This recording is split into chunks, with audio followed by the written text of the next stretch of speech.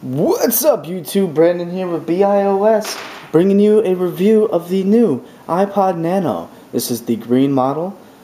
As you can see, the green looks very nice. I like it a lot. It is 16 gigabytes, so it can hold a lot of music. And let's go ahead and jump right on into this.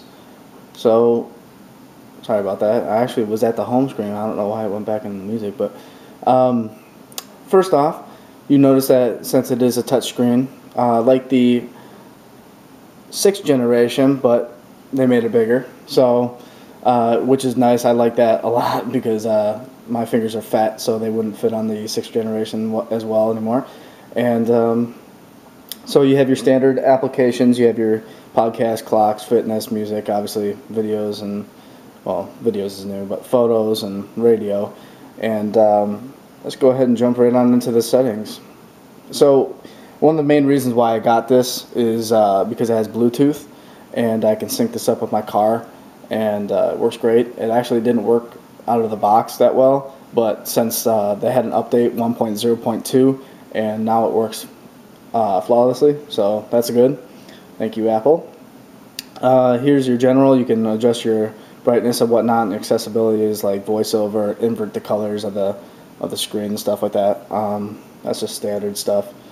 Uh, you can change your wallpaper. Um, so let's go ahead and uh, look at the uh, meat and potatoes of this. So here you have a home screen button right here. So you know, double click and it goes back to what you were listening to. On the side here, you have your volume rocker. And what's cool about this is it's actually a, it's pretty smart. It's like the headphones for the iPhone 5 where you can double click to skip the song. You could triple click to repeat the song. Uh, just tap once to pause it. So that's really helpful, especially when I'm running. Uh, let's go into the, the fitness app. So the fitness app, uh, something that I got this also for, but I don't use it because um, the pedometer uh, is kind of off.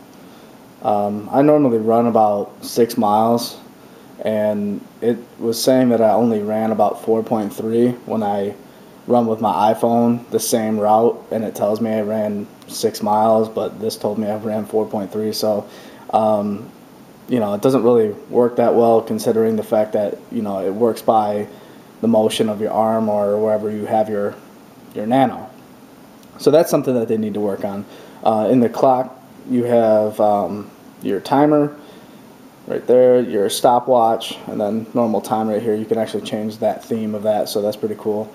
Um, here you have videos. I don't have any videos because I got an iPhone 5 and I wouldn't have any videos, nor do I have photos.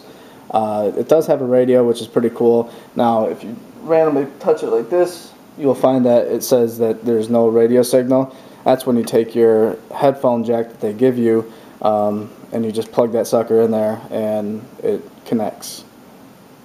So that's pretty cool. Um, I like that a lot. And obviously, there's more hidden stuff when you have your headphone jack in here, like voice memos. So that's a hidden application when you have your headphones in. As you can see, it goes away. So that's pretty cool. And uh, music works great.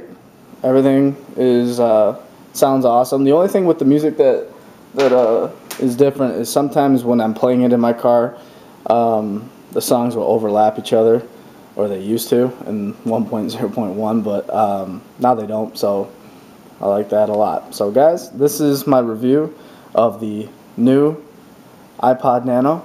I would suggest to go pick it up. It actually works really well in my pocket when I run. So uh, I the lightness of this thing is is ridiculous. Like I don't even feel like I'm holding it right now, and I feel like I should have a screen protector or like a case or something like that on it because it's so light, and uh, I don't want to drop it and um, I would suggest go picking this up if you, uh, you know, want an iPod instead of having all that music on your phone, slowing it down. I would suggest go picking this up because this is a good buy. So, guys, this is my review of the new 7th generation iPod Nano, and I'll catch you later. Peace.